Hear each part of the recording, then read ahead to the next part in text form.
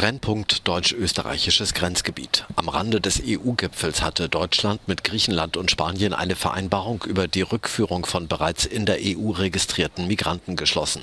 Im Gegenzug sicherte Deutschland zu, offene Fälle von Familienzusammenführungen abzuarbeiten. Gegenwärtig gibt es 2000 bereits bewilligte Anträge für Zusammenführungen von Familien in Deutschland. 900 Anträge werden geprüft.